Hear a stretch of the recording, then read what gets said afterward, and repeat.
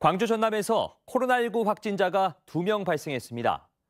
한 명은 기존 확진자를 통해 감염됐고 또 다른 한 명은 최근 유럽 여행을 다녀온 딸을 통해 감염된 것으로 추정됩니다.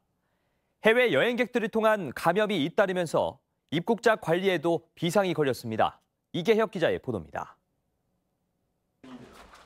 광주의 17번째 확진자는 북구 문흥동에 사는 59세 여성입니다.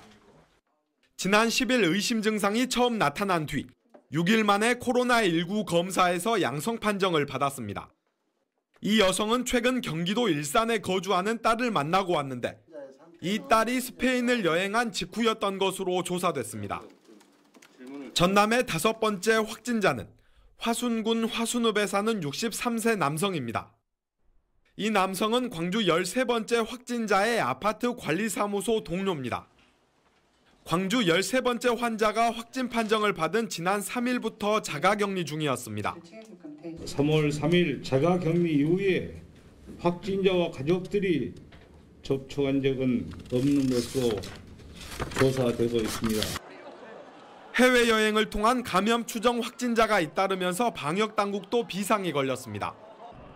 동명동 광주 16번째와 양림동 11번째 확진자가 유럽을 다녀왔고 이번 17번째 확진자도 스페인을 다녀온 딸과 접촉했던 것으로 조사됐기 때문입니다. 정부도 기존 아시아 5개국과 유럽발 항공노선 입국자에 한해 적용되던 특별 입국 절차를 입국자 전원으로 확대하기로 했습니다. 또 모든 입국자 명단을 관할 지자체로 통보해 입국 후 14일 동안 감시하기로 했습니다.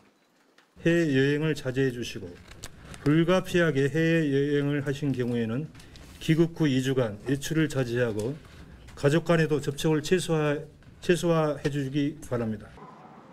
신천지 교인을 통한 감염 확산에 이어 입국자들을 통한 감염 우려가 커지면서 지역 사회의 긴장감도 높아지고 있습니다. KBC 이계혁입니다.